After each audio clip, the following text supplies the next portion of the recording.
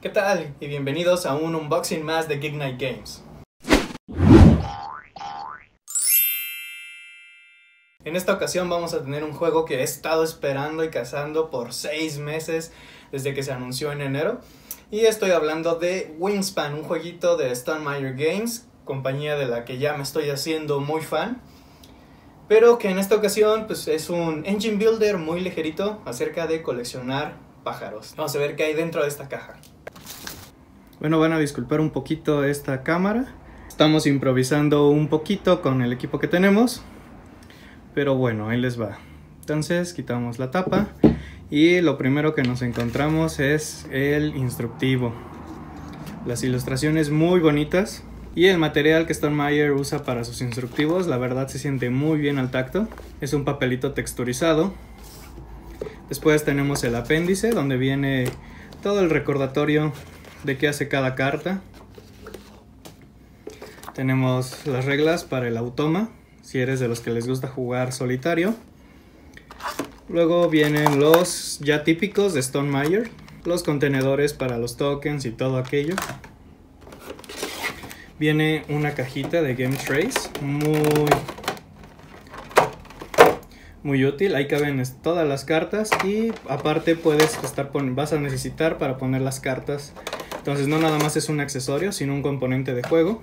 Y volvemos todas las bolsitas con los huevitos de diferentes colores. Realmente no, no afecta el color, se usan para lo mismo, nada más que, según las palabras del mismo James Stegmaier, lo hicieron para que se viera más bonito. En vez de puros huevos de un solo color, varios. Como ya es típico de muchos juegos, eh, bolsitas extra para todo lo que vas a ocupar.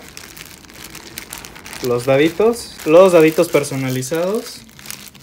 Que vienen son daditos de madera con todos los símbolos de alimentos que ocupan los pajaritos para poderse jugar.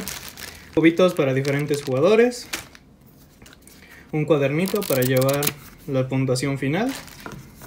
Un marcador de objetivos el lado azul es para principiantes, donde no hay forma de que pierdas algunos puntos de victoria, salvo que no cumplas con nada. Y del otro lado, el lado verde un poquito más competitivo. Algunas de las cartas que les mostraré ya más al rato. Los tableros de jugadores. El arte está precioso de este juego. Y parece como si fuera un cuadernito, ya que pues en este juego somos eh, de las personas que se dedican a ver aves. Hay tableros para 5 jugadores. Torre de dados. Que en este caso pues es de con temática de aves también. No es necesaria, pero pues es un detallito muy bonito. Y todos los tokens que se ocupan en el juego.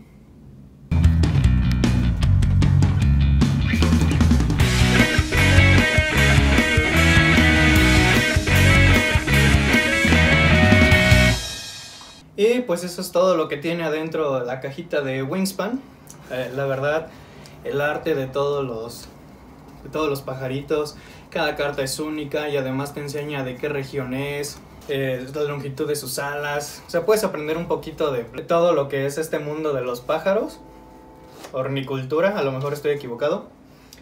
Pero la mecánica principal del juego se va a resolver en tu tablero en donde vas a estar creando diferentes bueno, es lo que se conoce como un engine builder, una creación de motor, en el cual eh, lo que va a pasar es que mientras más cartas vas agregando al tablero, mejor se va haciendo tu juego. De hecho, Wingspan tiene una mecánica muy particular en donde tus marcadores de acciones, son los cubitos que vieron, eh, conforme avanza el juego vas a ir perdiendo, es decir, vas a poder hacer menos acciones en teoría. Eso se debe a que tus acciones se van a volver muchísimo más complejas y tus turnos van a ser un poquito más largos pero eso se va a resolver conforme a los pajaritos que vayas jugando en tu tablero.